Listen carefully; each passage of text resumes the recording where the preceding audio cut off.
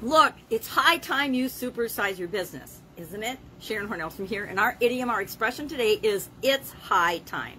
Now, despite changes in people's habits and behaviors, high time doesn't mean it's time to escape from our realities in terms of growing our business. It's time to pay attention, do something that we've been putting off for a long time or that we should have already been doing.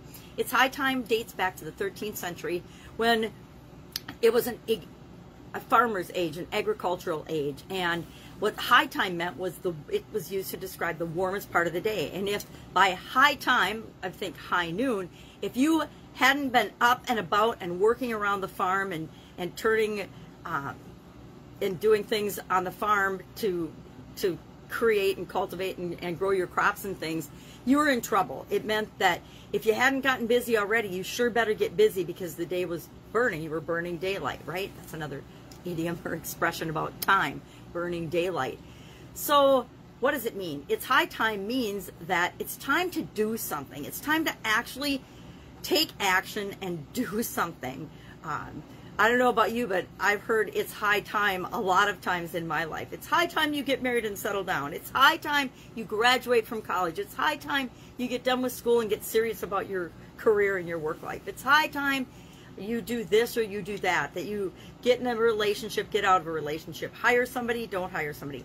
What is it high time? What is it a long awaited event in your business? What is something that you need to do that you know will take you to the next level of supersizing and growing your business. Maybe it's hire a, a certain person. Maybe it's revamp a, a part of your business. Maybe it's to add a product line. Maybe it's to focus more on your customers. Maybe it's to enhance the customer experience. Whatever it is, what is it high time for you to do in your business that you know you should be doing and probably should have been doing already, but instead of beating ourselves up over shoulds, what can we do now? What can we do today to move our business in the direction that we want it to?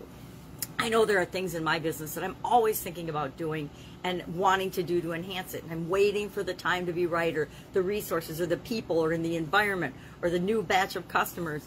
But what's stopping me from doing that right now? Very little, and it's high time that I stop making excuses and start taking action. So share in the comments below your experience with this particular idiom or expression. Uh, what what you've had in terms of hearing it in your life. I know I've heard it a lot in different stages of my life, especially. It's it's usually accompanied with someone's judgment of what I should have been doing already or that I've done wrong, and that's okay because people are allowed to give us feedback, and feedback helps us grow. So share in the comments below. What is it high time that you started doing in your business, and maybe if you're brave, when you might start doing that that exact thing. I'll, I'll do the same thing because I know there's some things I need to do in my business and I've been wanting to do and I've just been putting off for various excuses and reasons. That's it. Have an awesome day. I will, of course, be with you tomorrow with another probably time related idiom. I think I'm going to do a series on time because I was researching time. I was trying to think of an idiom for today and I came up with like 39 different time related idioms, which I found fascinating. But time is also one of the biggest things that we it's our one of our greatest resources and one of the biggest things that comes up time and time again in my coaching and, and, consulting. We don't have enough time to do that. We can't do that. We don't have time. We don't have the resources meaning we don't have the people and the time and the energy to do it.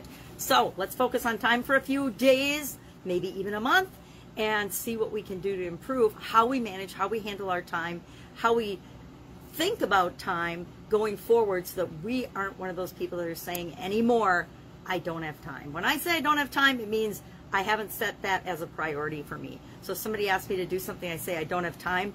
Know that that's code for what you're asking me to do is not fitting into my personal priority list right now or my business priority list right now.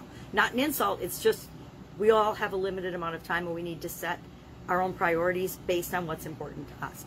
All right, that's enough babbling. Have an awesome day, and I'll, of course, with you tomorrow.